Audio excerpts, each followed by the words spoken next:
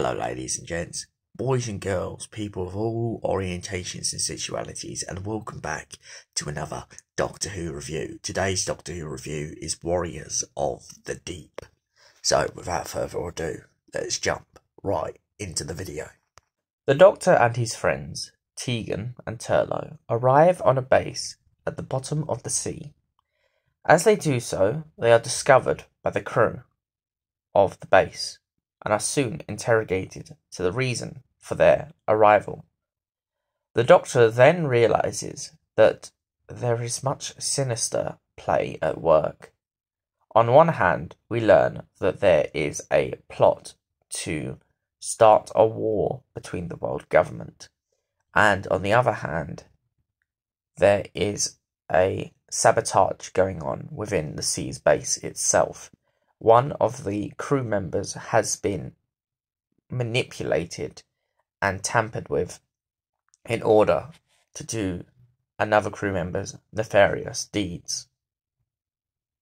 Meanwhile, outside of the base, a group of Silurians have found the remaining capsules of their sea devil cousins and are starting to revive them in hopes of attacking the underwater base.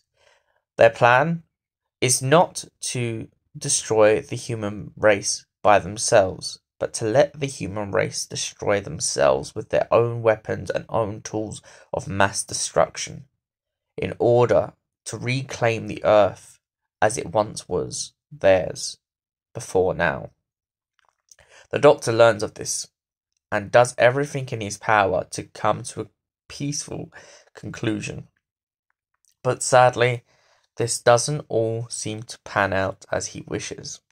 During a chase with the crew, the Doctor ends up falling over the railing, and him and his companions are separated. The Doctor is thought to have drowned, but later on we learn that he hasn't drowned, but has managed to escape through a bulkhead in the, the bottom of the ship. Once he does escape, he tries to convince the crew members that they must not engage with the Sea Devil presence and the Silurians underneath the, the water base, but instead wait for them to come aboard and find out their real intentions. The crew are rather skeptical throughout this story, as they believe the Doctor to be a hostile intent and may be working as a spy for the Sea Devils or Silurians, so they don't trust him immediately, but soon. They realise they have no choice but to ask for his help, especially when the base is attacked. The Silurians and Sea Devils then use a creature known as the Myrka to get through the bulkhead of the sea base in order to lead a passage through the base. The Myrka is what I would describe as part dinosaur, part reptile. The creature in itself uh, manages to clear a rather intense path, but the Doctor, remembering his knowledge of its philosophy, uses an ultraviolet light to subdue the creature and prevent it from crashing any further through the underwater base. This then in turn leaves the Doctor with a yet another problem, which is the Sea Devils and the Silurians, who have now come aboard the base after capturing multiple percentages of it as a whole. After winning the confidence of the leader of the Silurians, he the Doctor attempts to try and come to a peaceful conclusion, hoping that they will leave the base and that they will live one in peace with all the humans on the Earth.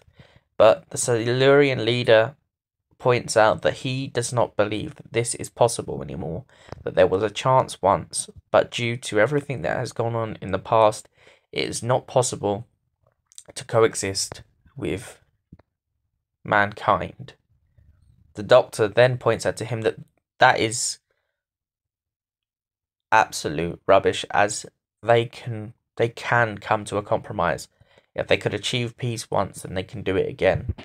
After heading to the mission silo to find a solution to take down the Silurians without harming them, The Doctor accidentally stumbles upon a poison which manages to reduce the Sea Devils to nothing more than goo. The, the humans on the ship and the Doctor's own companions point out that they can use this gas to destroy the Silurians once and for all. The Doctor gets in an ump and frustratingly argues with his companions and his newfound allies, mentioning the fact that he should not have to choose whether they live or die, that at the end of the day, he has tried so hard to make them coexist that what is even the point of helping them anymore? The doctor even mentions that his only attempt with the gas originally is to neutralize them, but soon later on, after sending the gas into the main control center and trying to get his companions to give them oxygen, Turlough shoots one of the Silurians and the Doctor frustratingly points out at the end of the episode that there should have been another way. So now for the moment you've all been waiting for. Warriors of the Deep. A great story starring Peter Davison as the Doctor. What was my thoughts? Well, I love the combination of the Sea Devils and Silurians working together. And I love the combination of two under siege stories happening on one sea base. As a whole, I love the dilemma of uh, genocide and how it is explored in this story, and how the Doctor does try to find any solution around preventing it from happening. So, for that reason, I give Warriors of the Deep a solid 8 out of 10. Brilliant story, brilliantly developed, and the Myrka itself is an absolutely beautiful piece of design. Thank you everyone for watching, and we will see you in the next Doctor Who review. Stay beautiful.